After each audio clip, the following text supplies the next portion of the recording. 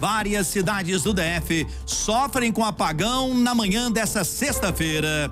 Quem explica o que, que aconteceu pra gente é ela. Érica Leal. Érica, boa noite, bem-vinda.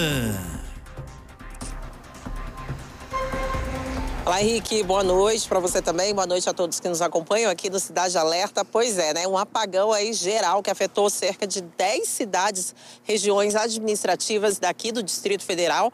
Também afetou outras cidades do entorno de Goiás. Vamos saber as cidades? Foi Núcleo Bandeirante, Candangolândia, Guará, Águas Claras, Vicente Pires, Taguatinga, Ceilândia, Sol Nascente, Samambaia, Braslândia e também outras cidades do entorno. Agora, Henrique, segundo a Neo Energia, o problema não foi com o sistema de transmissão aqui, de distribuição da empresa. A empresa que distribui essa energia também para Goiás, né, para o entorno também, falou a mesma coisa, ressaltou, não foi com eles, segundo eles, mas no sistema de distribuição lá em Furnas, que fornece essa energia para o Distrito Federal e várias partes aqui do Centro-Oeste. Essa é, queda de energia né, começou por volta das 11h45 da manhã e aqui em Brasília foi normalizada lá pela uma hora da tarde nesta sexta-feira. Muita gente reclamou, muita gente ficou sem energia. O aeroporto, por exemplo,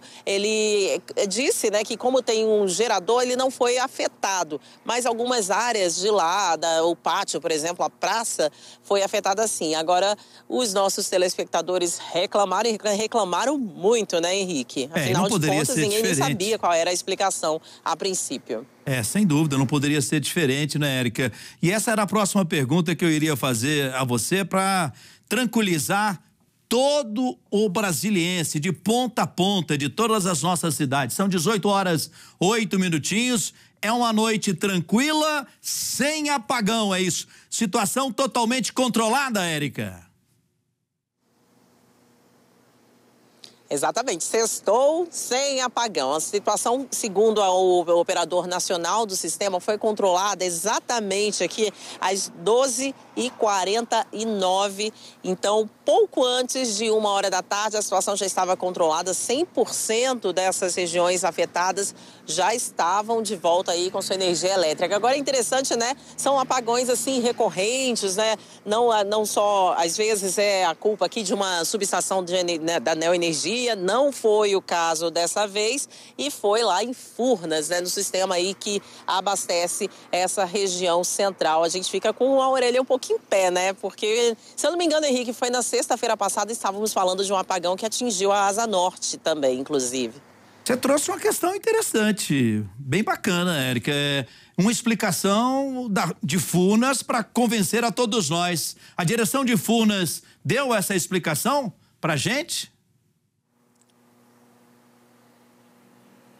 Henrique, é exatamente isso que eu estava aqui procurando, pesquisando. A gente tem a explicação da Neoenergia, a gente tem a explicação da Eletrobras, que abastece Goiás, né, que é responsável por essa distribuição, mas não, não temos essa explicação clara de Furnas, do operador nacional do sistema. Eles falaram apenas que foi um desligamento automático e que foi tudo controlado poucos minutos depois. Eu creio que a gente precisa de um pouquinho mais de respostas, né, para saber claramente o que realmente está acontecendo aí com esses apagões, com essa sequência aí de é, interrupção no fornecimento de energia do nosso Brasil inteiro.